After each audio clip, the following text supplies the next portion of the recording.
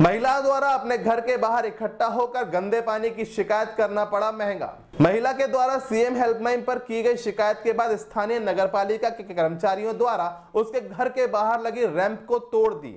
वही महिला का कहना है कि उसका रैंप इसलिए तोड़ दिया गया क्योंकि उसने नगर पालिका की शिकायत की थी, जिसकी सजा उसे मिली, लेकिन आसपास के मकानों पर बनी रैंप को हाथ भी नहीं लगाया गया। नंबर बोलना सर व्हाट्सएप पर किसी का भी सारे सर मेरी शिकायत बहुत सालों से है बहुत सालों से मैं परेशान हूँ। ना तो नाली प्रॉपर बनी हुई है ना उसका ढाल प्रॉपर है। एल शेप में मेरा मकान है आगे और पीछे दोनों साइड की समस्या है। उस वो पानी उसके बाद आगे जाता ही नहीं है। और मैंने कई बार इसकी शिकायत की आ, कई बार हेल्पलाइन में शिकायत की सीएम हेल्पलाइन में शिकायत की लेकिन आ, वो लोग मेरी आवाज़ को पहचान जाते थे और बोलते थे शीरिन से भी आप की अभी तक सॉल्व नहीं हुई और आखिर में परेशान होकर जब मैंने उसको दैनिक भास्कर में निकाला गया तो अगले दिन लाके जेसीबी से मेरा रैंप तोड़ दिया गया।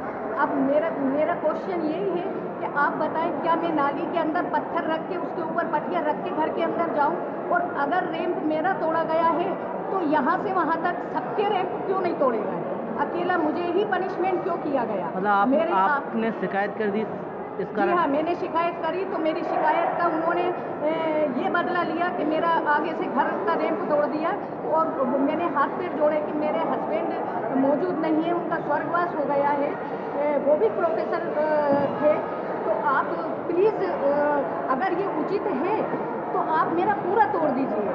और अगर आपने तोड़ भी दिया है तो मुझे तोड़ने की शिकायत नहीं है लेकिन इसके बाद कम से कम उसका समाधान तो कर दीजिए।